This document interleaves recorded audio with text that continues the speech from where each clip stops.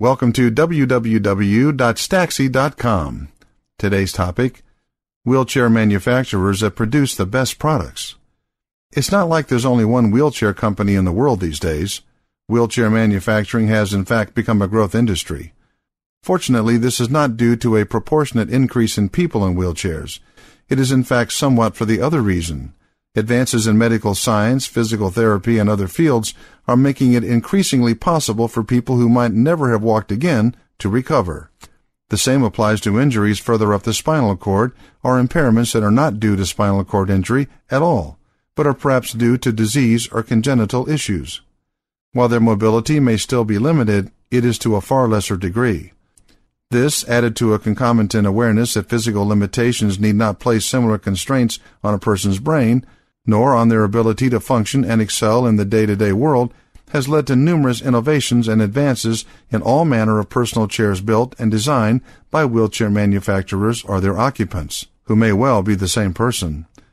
As a result, wheelchair manufacturers no longer churn out one kind of chair where the only difference was in structural quality. There really is almost no such thing as a standard wheelchair any longer.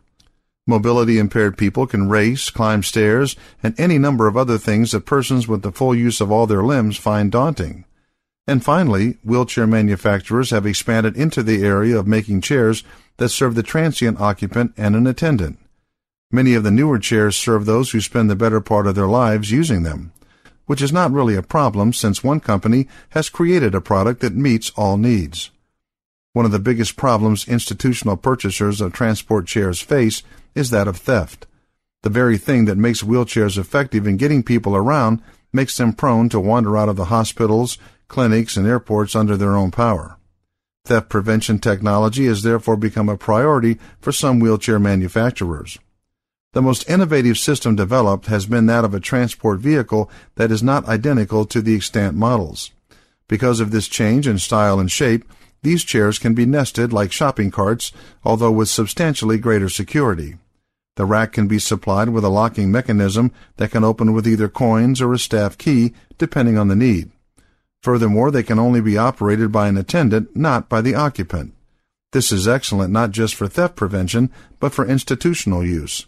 Enthusiastic patients often flout regulations put in place for the safety of themselves and all other occupants of a given building. In a vehicle that cannot be independently propelled, this risk is a non-starter. Such a chair does make it harder to write farce scenes involving a runaway patient tearing around a hospital in a stolen wheelchair, but that is a small price to pay.